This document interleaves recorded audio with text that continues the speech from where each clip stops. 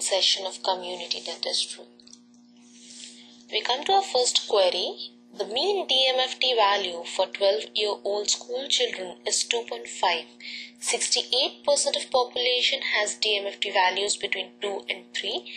And what we are supposed to find in this question is the standard deviation. The options we have are 0.5, 1, 2 and 3. So first of all, we'll notice what what are the values which are available for our calculation. Herein we have the mean that is 2.5. We have been given the percentage of population which lies between the lower limit 2 and the upper limit 3 and this percentage of population is 68%. To understand this question we need to brush up a few basic concepts. This question is based on the normal distribution or the Gaussian distribution. So we see the diagram of the normal distribution or the Gaussian distribution here.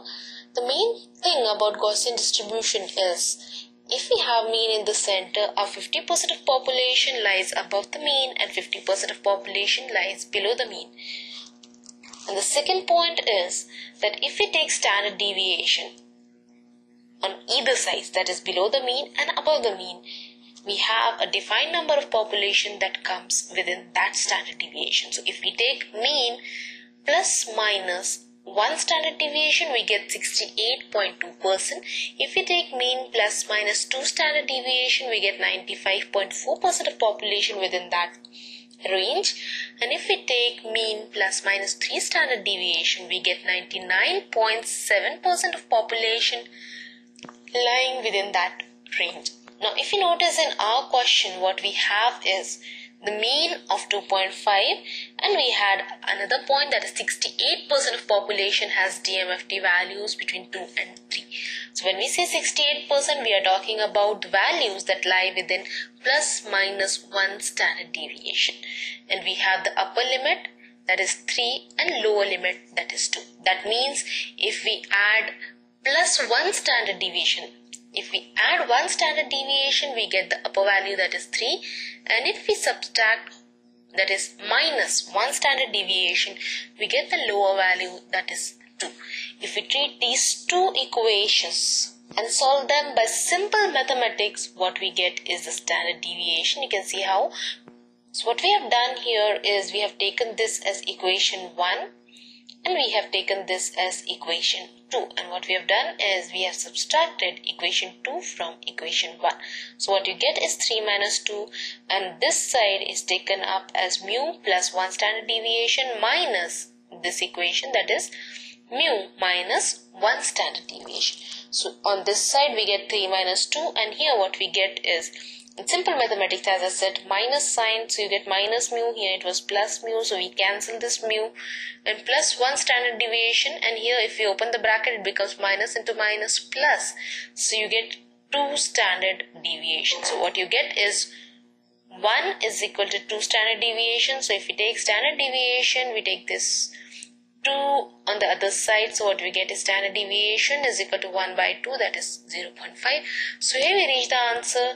So our answer of this question is 0.5 in this example the population percentage given was 68% but by chance if we have a question wherein the population percentage given is either 95.4% or 99% be careful, we are not supposed to do plus 1 standard deviation or minus 1 standard deviation.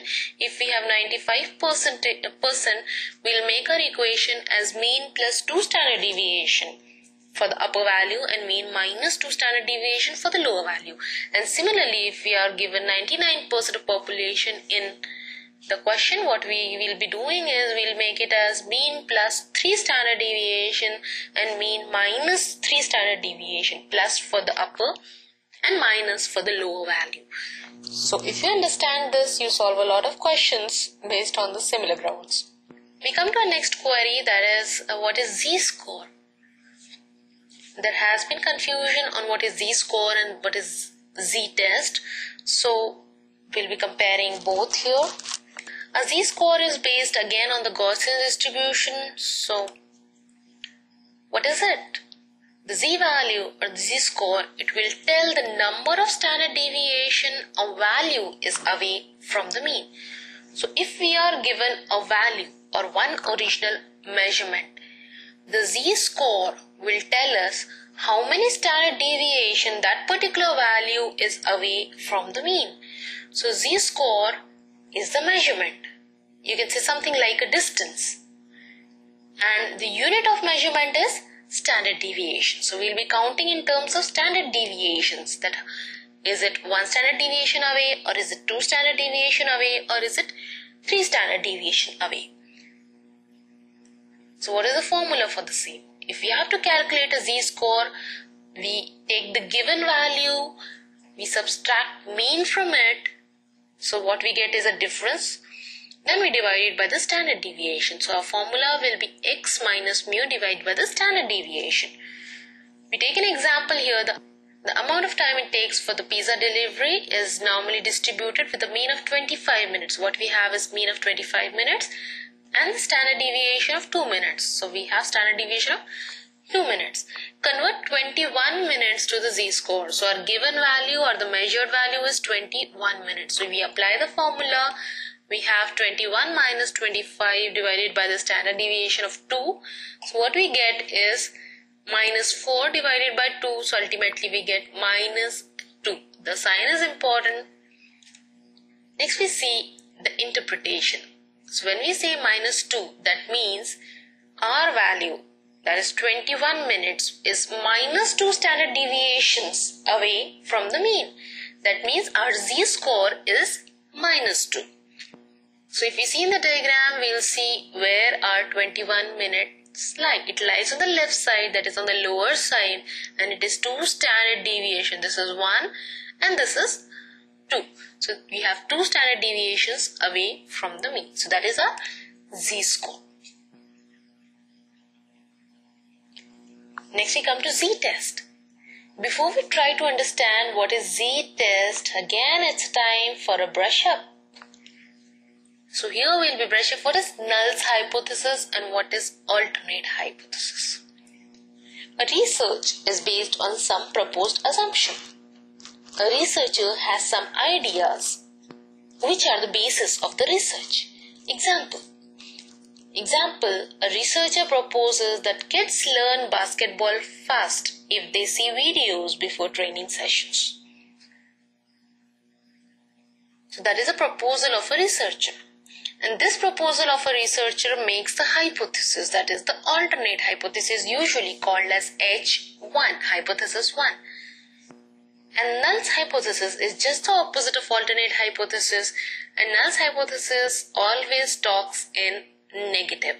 It says, no, kids do not learn basketball any faster if they see video before training session.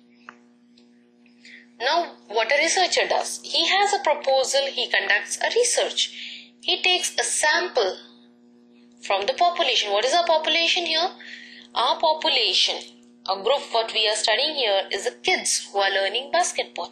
And we take a sample from that population and we perform a study wherein we make these sample kids to see the videos before they go in for the training session and we are, what we are trying to prove is that they learn basketball faster if they see videos before the training session. But our null hypothesis says otherwise. It just says the opposite. So, once we have the data, once we once we gather the reports of the research, what we try to do by the statistical test, by performing the statistical test, we try to check whether the null hypothesis is true or false. If the null hypothesis is true or accepted, that means our researcher's proposal is not right. That means the researcher's proposal is not proved. But if the null hypothesis is rejected, we get a statistically significant result. That is, we get statistically significant proof for the researcher being right on the fact that kids learn basketball fast if they see videos before the training session. So to prove or to test whether null's hypothesis is true or the alternate hypothesis is true, what we do is we conduct the statistical test and the most common statistical tests are the t-test and the z-test. So here it makes it clear at least to some extent that z-test is nowhere same as z-score. Z-test is a statistical test done to either accept or reject null hypothesis.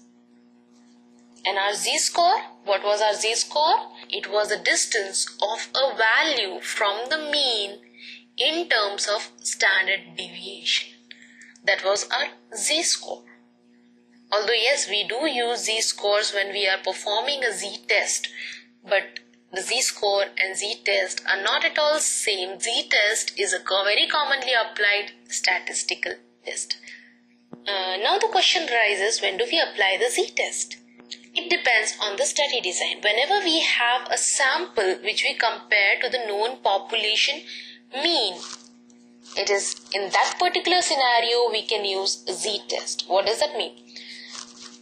Our same example of the basketball kids apply here. In the basketball kids, what we had done is we had the one whole population of basketball kids who were learning, who were trying to learn basketball using the training sessions. We know the average duration of time these kids they take to learn basketball. How do we know that? By the study of population. We have the data on that. Now our proposal was that these the kids, if they are shown video, they would learn basketball faster. And to prove that proposal, what we performed was research. We took some one sample, one group of kids, and we made them we made them see videos before they went for the training session. Then whatever results or whatever duration these kids took to learn basketball, we compared that particular duration to the duration of the rest of the population. If we have such kind of scenario, what we apply is either a z-test or we can apply one sample t-test. It is a variety of t-test. You know, t-test has one sample t-test. It has the paired t-test and it has the unpaired t-test. So one sample t-test can be applied in a scenario wherein we compare one group to the whole population mean or a known population mean. Similarly, z-test can be applied. Now again we have a confusion. What do we apply next? Do we apply z-test or do we apply one sample t-test? But z-tests are often applied in large samples wherein we have n more than 30. And it is also applied in a situation wherein the standard deviation of the population is low. So herein we have covered few of the queries, few of the very important queries of community dentistry and we'll be dealing with rest of the queries in upcoming sessions. Thank you.